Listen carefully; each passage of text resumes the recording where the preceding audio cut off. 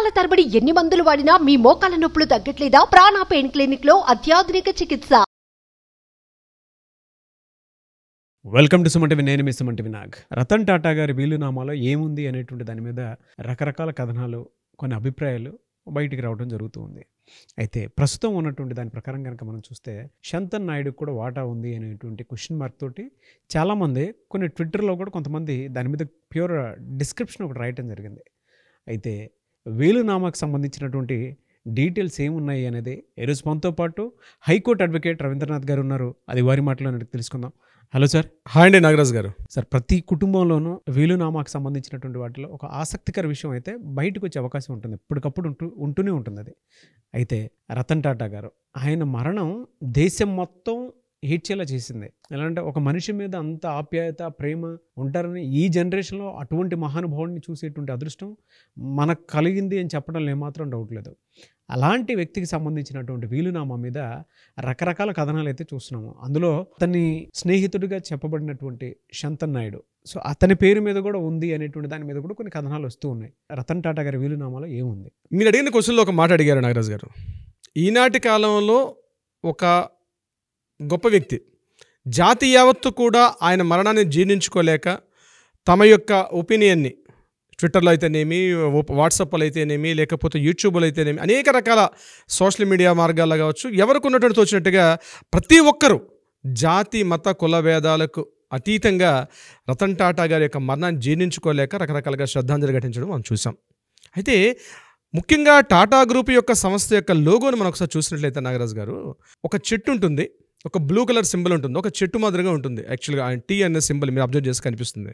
అంటే that indicates ఏంటంటే ఒక చెట్టు ఒక ఒక వృక్షం దాని కింద దాని కింద ఎంతమంది అయినా సేద తీరవచ్చు. దాని యొక్క అర్థం అది యాక్చువల్గా ఆ టాటా లోగో యొక్క అర్థం ఒక చెట్టు వృక్షం కనిపిస్తుంది. ఆ వృక్షానికి కింద చాలా మంది ఉన్నట్టుగా అంటే వృక్షం అనేది ఎంతో మందికి సేద తీరుస్తుంది అన్నటువంటి ఒక సింబాలిక్గా ఉంటుంది ఆ యొక్క లోగో దాని కలర్ కూడా బ్లూ కలర్. బ్లూ కలర్ ఏంటి? ఆకాశం యొక్క రంగు బ్లూ కలర్. అంటే స్వచ్ఛత నైర్మల్యత అంటే నిర్మలత్వం ఇవన్నిటి కూడా సూచిస్తుంది. యాక్చువల్గా టాటా లోగో యొక్క అర్థం ఏదనమాట అంటే ముఖ్యంగా నీతి నిజాయితీ క్రమశిక్షణ is equal to Tata group వ్యాపార సంస్థలో చెప్పాలనుకుంటే. దాని యొక్క అర్థం అది. మరి అంత మహానుభా అంత అంత పెద్ద వ్యవస్థ అనేటువంటి టాటా గ్రూపులో మహానుభావుడైన రతన్ టాటా గారి యొక్క వీళ్ళమ్మ కూడా అంతే స్థాయిలో ఉంటుంది. నీతిగా నిజాయితీగా క్రమశిక్షణగా ఆ విల్లు కూడా ఉంటుంది వీలునామా కూడా ఉంటుంది అనడంలో ఎటువంటి అతిశయోక్తి అయితే లేదు. అయితే ఆయన రాసినటువంటి వీలునామా ఏంటి? అన్న మన విషయానికి వచ్చినట్టయితే ఆ వీలునామా సుమారుగా రతన్ టాటా గారి యొక్క ఆస్తి మొత్తం సుమారుగా పదివేల కోట్ల రూపాయలుగా మనకి ఒక మీడియా కథల ద్వారా తెలిసింది. టెన్ థౌజండ్ క్రోస్ అయింది. ఈయనకి యాక్చువల్గా ఇది కాకుండా ఏదైతే టాటా సన్స్లో ఈయనకు ఒక zero point eight three percent అంటే హోల్డింగ్ కూడా ఈయనకి షేర్ ఉంది. ఆయనకుంది ఆయన ఆయన యొక్క ప్రాపర్టీస్. ఇది కాకుండా ఒక మూడు వందల యాభై కోట్ల రూపాయలు ఫిక్స్డ్ డిపాజిట్స్లో ఉంది.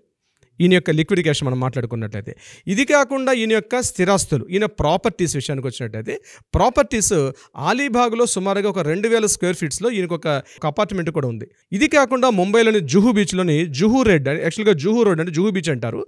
జుహూ బీచ్కి ఎదురుగా ఉండే కొలాబా సర్కిల్ అంటారు యాక్చువల్గా. ఈ కొలాబా అంతా కూడా కంప్లీట్గా ఈ పార్సీలే ఉంటారు. అంటే రతన్ టాటా గారి కంపెనీలో వర్క్ చేసిన వాళ్ళగా అయితేనేమి రతన్ టాటా గారి యొక్క బంధువులే సుమారు కొన్ని వందల మంది ఉంటారు. ఆ కొలాబా కాలనీ మొత్తం కూడా ఈ టాటా వాళ్ళ గ్రూప్ సంస్థలు ఎంప్లాయీస్ కావచ్చు లేకపోతే పార్సిల్ కావచ్చు.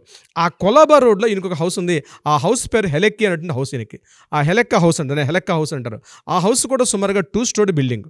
ఇది కాకుండా జుహూ రోడ్లోనే మరొక హౌస్ కూడా ఉంది. ఆ హౌస్ సుమారుగా ఒక పావు ఎకరం స్థలంలో కూడా ఇంకొక ఇండిపెండెంట్ హౌస్ ఉండేది. అది ఒక రెండు దశాబ్దాల క్రితం వరకు దాన్ని వాడేవారు. ఆ తర్వాత దాన్ని వాడడం మానేసి కంప్లీట్గా ఈ జుహూ రో జుహూ రోడ్లోనే అంటే కొలాబా రోడ్లోనే పైన ఉన్నటువంటి హెలక్క హౌస్లో ఉంటున్నారు. ప్రజెంట్ ఇప్పుడు ఏదైతే రతన్ టాటా గారు మరణించారో అప్పటి వరకు ఈ హెలక్క హౌస్లోనే ఉన్నారు దాన్ని. ఇది కూడా టాటా గ్రూప్ నుంచి వచ్చినటువంటి వాళ్ళ ఒక సంస్థ నుంచి వచ్చినటువంటి హౌస్ ఇది కూడా. ఇది టాటా సంస్థకు సంబంధించి ఎవార్ట్ ఇన్వెస్ట్మెంట్స్ అని ఆ యొక్క ఎవార్ట్ ఇన్వెస్ట్మెంట్స్ కాదులో ఉంటుంది ఈ హెలక్క హౌస్. అయితే ఇక్కడ రతన్ టాటా గారు వీలునామాలో ఈ స్థిర చరాస్తులతో పాటు ఇవి ఎవరెవరికి రాశారు అన్నది సర్వత్రా కొంత అందరికి కూడా క్యూరియాసిటీ అయితే ఉంది. ఈ ఆస్తుల ప్రాపర్టీస్ ఎవరు రాశారని ఇందులో ముఖ్యంగా ఈ టూ స్టోర్ బిల్డింగ్ నిండా మీకు చెప్పాను. కొలాబా దగ్గర ఒక పావు ఎకరం స్థలం ఉన్నటువంటి హౌస్ ఏదైతే ఉందో ఇండిపెండెంట్ హౌస్ ఈ ఇండిపెండెంట్ హౌస్ కంప్లీట్గా దీన్ని ఏం చేస్తున్నాడు ఒక మ్యూజియంగా మార్చాలి అనే ఉద్దేశంతో దాన్ని మార్చే ప్రతిపాదనలో కూడా ఉన్నారు ఈ టాటా గ్రూప్ వారు. ఇది కాకుండా ఏదైతే హెలక హౌస్ ఉందో ఈ హెలక హౌస్ను కూడా కంప్లీట్గా ఇది మ్యూజియంగా మార్చడమా లేకపోతే వీళ్ళు బంధువులు ముఖ్యంగా ఈ జిమ్మీ టాటా ఎవరైతే ఈయన సోదరుడు ఉన్నారో వాళ్ళకి ఇవ్వడం అన్నది అది ఆ విషయం సంబంధించి వీలునామాలో ఏమి ఎలా ఉంది అన్నది కూడా మనకు తొందరలో కూడా తెలిసే అవకాశం ఉంది. అయితే ఈ వీలునామాకు సంబంధించి ఒక విషయం ఏంటంటే ఇది బాంబే హైకోర్టులో ప్రజెంట్ ఈ వీలునామా ఉంది.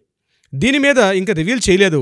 ఇది రివీల్ చేశాక ఎవరైతే వీలునామాలో సంబంధించిన వ్యక్తులు ఎవరైతే ఉంటారో ఆ వ్యక్తులందరూ కూడా నోటీసులు పంపిస్తారో అందరినీ కూడా కోర్టు సముఖంలో పిలిచి వాళ్ళందరి దృష్టిలో ఈ యొక్క వీలునామాని చదివే అవకాశం అయితే ఉంటుంది. ఇది బహుశా ఏదో వన్ మంత్ టూ మంత్స్ కాదు సుమారుగా కొన్ని నెలలు పట్టే అవకాశం అయితే ఉంటుంది ఈ వీలునామాకి సంబంధించి. ఎవరెవరికి ఏమేమి రాశారంది అప్పటి వరకు ఉన్నటువంటి అడ్వకేట్స్ అందించినటువంటి కొంత సమాచారం మేరకు సమాచారం మేరకు మాత్రమే మనం తెలుసుకుంటున్నాం ఈ విషయాలు. ఇది కాకుండా ఇదే కొలాబా రోడ్లో ఈయనకి తాజ్ వెల్లింగ్టన్ అని ఇంకొక సర్వీస్ అపార్ట్ ఒక అపార్ట్మెంట్ ఉంది. దాన్ని రీసెంట్గా ఏం చేశారంటే సర్వీస్ అపార్ట్మెంట్గా మార్చారు. అంటే వీఐపీస్ ఏమైనా పెద్దవాళ్ళు వస్తే ముఖ్యంగా రతన్ టాటా గారు ఇంతకు ముందు ప్రీవియస్ కూడా ఇక్కడ నివసించేవారని చెప్పి దాన్ని ఒక సర్వీస్ అపార్ట్మెంట్గా మార్చారు తాజ్ వెల్లింగ్టన్లో ఉన్నటువంటి హౌస్. ఈయన యొక్కది ఇది. అయితే ఈ యొక్క ఈయన స్థిర చరాస్తులకు సంబంధించి ఈ విషయాలు మాట్లాడుకుంటే ముఖ్యంగా ఈ శంతన్ నాయుడు గారు శంతన్ నాయుడు గారు అంటే ఒక ఒక ఇరవై ఏడు సంవత్సరాల అబ్బాయి ఈయన మనం ఇంతకు ముందు ఒక ఎపిసోడ్ కూడా చేసాం శంతన్ నాయుడు గారి గురించి. ముఖ్యంగా గుడ్ ఫెలోస్ అనేటువంటి ఒక ఒక వృద్ధ అంటే వృద్ధులకు సంబంధించినటువంటి అంటే ఎవరైతే ఓల్డ్ ఏజ్ హోమ్స్ కాకుండా ఓల్డ్ ఏజ్ హోమ్ లాంటిదే కానీ వాళ్ళకి కంప్లీట్గా అటు మెడిసిన్స్ అయితేనేమి ఫుడ్ అయితేనేమి పిల్లలు పిల్లల్ని దూరంగా పెట్టుకున్నటువంటి వృద్ధులందరికీ కూడా ఒక ఒక వృద్ధాశ్రమం లాంటిది ఒక గుడ్ ఫెలోస్ అనే సంస్థ ఏర్పాటు చేసి దానిలో రతన్ టాటా గారు కూడా చాలా వరకు షేర్ ఇవ్వడం కూడా జరిగింది అది డెవలప్మెంట్ చేయడం కోసం. అయితే ముఖ్యంగా దీనికన్నా ముందు ఏం చేశారంటే శంతన్ నాయుడు గారు స్ట్రీట్ డాగ్స్ ఉద్దేశంలో ముంబై పూణే రోడ్డు ఉన్నటువంటి స్ట్రీట్ డాగ్స్ మీద చాలా యానిమల్స్ చనిపోతున్నాయనే ఉద్దేశంతో వాటికి సంబంధించి ఆర్గనైజేషన్ కూడా స్టార్ట్ చేశారు. దీనికి సంబంధించి సుమారు ఒక ఆరు వందల యాభై కోట్ల రూపాయలతో ముంబైలో ముంబైలోనే కొలాబా రోడ్ దగ్గరలోనే ఒక ఆరు వందల యాభై కోట్లతోటి ఒక యానిమల్ హాస్పిటల్ కూడా వెటర్నరీ హాస్పిటల్ కట్టడం కూడా జరిగింది. దాంట్లో కూడా major share holder already Shantan Naidu గారికి ఉంది. అయితే ఈ వీలునామాలో ఏముందంటే ఏదైతే ఈ ఆరు వందల యాభై కోట్ల రూపాయలతో నిర్మించినటువంటి హాస్పిటల్లో మేజర్ షేర్ ఏదైతే ఉందో ఆ షేర్ మొత్తం తీసేసి ఆ టోటల్ షేర్ కూడా మొత్తం కూడా శంతన్ నాయుడు గారికి ఇచ్చారు అన్నటువంటి ఒక ఒక వార్త అయితే మనకి వినిపిస్తుంది. శంతన్ నాయుడు గారికి అదేవిధంగా విదేశీ చదువుల నిమిత్తం కొంత అమౌంట్ కూడా పంపించారు. ఇంతకుముందు two thousand sixteen to two thousand ఎయిటీన్లో ఈయన యూకేలో చదువుకున్నప్పుడు ఈయన కొంత అమౌంట్ కూడా పంపించడం సంబంధించి కొంత స్కాలర్షిప్ ఇవ్వడం జరిగింది. ఇట్స్ నాట్ స్కాలర్షిప్ కొంత అమౌంట్ లోన్ లోన్గా ఇవ్వడం జరిగింది. దానికి సంబంధించినటువంటి ఏదైతే ఆ అమౌంట్ ఉందో కూడా దాన్ని కూడా వేవ్ ఆఫ్ చేశారంటే దాన్ని కూడా మాఫీ చేసినట్టుగా ఈ వీళ్ళు అమలు తెలుస్తుంది. ఇది కాకుండా ముఖ్యంగా రతన్ టాటా గారి యొక్క సున్నితత్వం ఆయన యొక్క ఆ నిజైతే ఎక్కడ కనిపిస్తుంది అంటే ఈయనతో పాటు సుమారుగా ముప్పై ఏండ్ల పాటు కనిపిస్తుంది ఈయన బట్లర్. బట్లర్ అంటే ఇంట్లో పనిచేస్తుండే ఈయనకి సహాయకుడు. అతనికి కూడా సుమారుగా కొంత కొంత వాటా రాశారని తెలుస్తుంది. అతని పేరు సుబ్బయ్య. అతను కాకుండా ఈయనకి ఎప్పటి నుంచి సుమారుగా ముప్పై ముప్పై ఐదు సంవత్సరాల నుంచి ఈయనతో పాటు ఒక కంప్లీట్ కుక్ ఉన్నారు ఈయనతో పాటు. ఆయనకి రాజన్ షా అంటారు ఆయన పేరు. ఆ రాజన్ షా కూడా కొంత షేర్ అయ్యడం జరిగింది. కేవలం మనుషులు మాత్రమే కాదు నాగరాజ్ గారు ఈయనకి ఎప్పటి నుంచో డాగ్స్ అంటే చాలా ఇష్టం. ఈయన పెంపుడుకు ఒక జర్మన్ షెఫర్డ్ డాగ్ అయినటువంటి టిటో అని ఒక పేరుతో ముద్దుగా పిలుచుకుంటారు. ఆ టిటోను కూడా రీసెంట్గా మనం వార్తల్లో చూసాం. ఈయన చనిపోయిన తర్వాత ఇంకా ఆయన తిరిగి రాలేదని చెప్పేసి ఆయన ఎక్కడైతే శిలాఫలకం ఉందో ఎక్కడైతే ఈయన స్మృతి ఫలకం ఎక్కడైతే నిర్మించారో అక్కడ కూడా వచ్చి ఆ టిటో కంటిన్యూగా చూసినటువంటి మనం ఫొటోస్ కూడా చూడడం జరిగింది. ఆ టిటో కూడా ఆ ఆ యొక్క టిటో డాగ్ ఒక డాగ్ అది చనిపోయేటంతా కూడా దాన్ని కంప్లీట్గా దాన్ని కేర్ అండ్ టేక్ అంతా కూడా శంతనాయుడు గారికి అప్పగిస్తూ దానికి కూడా కొంత అమౌంట్ రాయడం కూడా జరిగింది. అంటే ఆల్రెడీ తన అమౌంట్లో చాలా వరకు ముఖ్యంగా ఈ స్ట్రీట్ డాగ్స్ యానిమల్స్ అలాగే క్యాన్సర్ పేషెంట్స్ సంబంధించి ముఖ్యంగా ఈ వృద్ధులు గుడ్ ఫెలోస్ సంబంధించి వృద్ధులకి అయితే ఉన్నారో. ఈ వృద్ధులకు కూడా అంటే ఈయన యాక్చువల్గా చాలా వరకు వీళ్ళు షేర్స్ ఎలా ఉంటే more than sixty five percent of income Tata sons నుంచి ఏదైతే అమౌంట్ వస్తుందో more than sixty five percent of amount అంతా కూడా ముఖ్యంగా ఇటువంటి ఈ ధార్మిక కార్యకలాపాలు కావచ్చు సేవా కార్యక్రమాలు కావచ్చు మ్యాక్సిమం అమౌంట్ అనేది తను పెంచుకుంటూ వచ్చారు. అయితే శంత శంతన్ నాయుడు గారికి రతన్ టాటా గారి మరణం తర్వాత ఏదైతే ఈయనకి టాటా సన్స్లో ఉందో ఒక జనరల్ మేనేజర్ స్థాయి అయితే పోస్ట్ ఇవ్వడం జరిగింది. ఇప్పటివరకు డిప్యూటీ జనరల్ మేనేజర్ పోస్ట్ ఉండే పోస్టు ఆయన ఇప్పుడు జనరల్ మేనేజర్గా అపాయింట్ అవ్వడం కూడా జరిగింది. అయితే శంతన్ నాయుడు గారు రీసెంట్గా ఏం చేశారంటే ఇప్పుడైతే రతన్ టాటా గారు అక్టోబర్ తొమ్మిది మరణం తర్వాత రీసెంట్గా యూకే వెళ్ళడం జరిగింది. దీనికి సంబంధించి ఆయన మాత్రం ఎక్కడ కూడా ఆ రతన్ టాటా గారి యొక్క ఆస్తులు కానీ ప్రాపర్టీస్లో కూడా ఎక్కడ ఈయన నాకు కావాలి నాకు ఉన్నట్టుగా ఆయన ఎక్కడ ఏ స్టేట్మెంట్ కూడా ఎక్సెల్లో కానీ లేకపోతే ఏ యొక్క సోషల్ మీడియా వేదికలో ఆయన ఎక్కడ కూడా పార్టిసిపేట్ చేసినట్టుగా మనకి తెలియట్లేదు. కానీ ఒకటి అబ్జర్వ్ చేయండి. మిగిలిన వాళ్ళు ఎవరైనా ఒక వీలునామా రాసినా ఏం చేసినా సరే ఆఫ్టర్ చనిపోయిన తర్వాత మాకు కూడా షేర్స్ ఉంటాయని చెప్పి పత్రికా కథనాలకి చాలా సందర్భాల్లో మనం చూస్తాం. ముఖ్యంగా పెద్ద పెద్ద వ్యాపార దిగ్గజాలు లాంటి వాళ్ళు.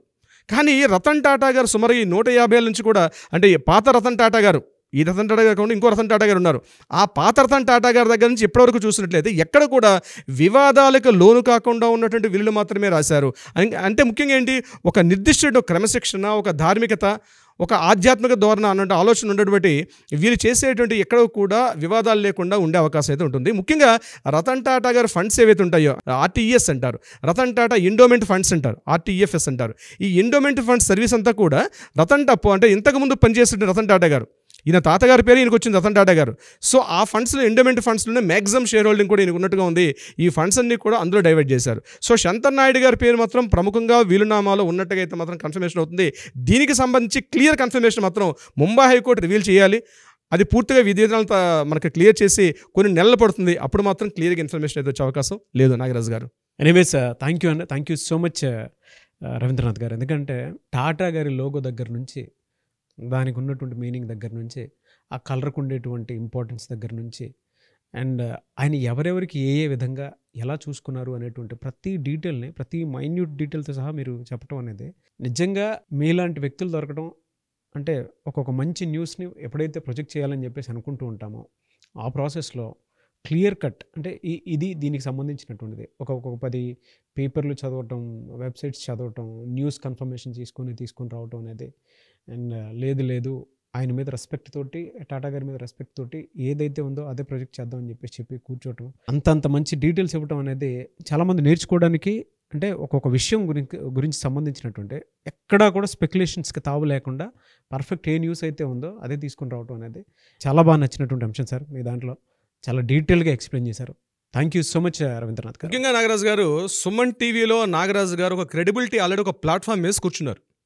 అంటే కొన్ని వందల వేల ఎపిసోడ్స్లో నాగరాజు గారు అంటే మీకంటూ ఒక ఫాలోయింగ్ ఉంది. సో మీ ద్వారా వచ్చే ప్రతి కంటెంట్కి కూడా ఒక క్రెడిబిలిటీ ఉంది. ఒక ట్రాన్స్పరెన్సీ ఉంది. సో మేము కొత్తగా వచ్చినప్పుడు కూడా మీతో అసోసియేట్ అయినప్పుడు మీ క్రెడిబిలిటీ చెడగొట్టకూడదు. సో మీరు కూడా ఈ బిఫోర్ వీడియో స్టార్ట్ చేసే ముందు కూడా ఇందులో ఉన్నటువంటి కంటెంట్ ఎంతవరకు జెన్యూనిటీ ఉంది అని మీరు కూడా ఫిల్టర్ చేస్తారు. మనం డిస్కస్ చేస్తాం. చేసి కాకుండా డైరెక్ట్గా వచ్చి కూర్చోవడం కాదు. సో మీకు ఏదైతే ఉందో ఆ క్రెడిబిలిటీ నిలబెట్టడం కోసం మేము ట్రై చేస్తుంటాం నాగరాజ్ గారు. Thank you sir very happy for you అండి thank you so much Ravindranath గారు. Thank you so much Nagaraj గారు. సుమన్ టీవీలో మీ పర్సనల్ అండ్ బిజినెస్ ప్రమోషన్స్ కోసం కింది నెంబర్కి కాంటాక్ట్ చేయండి.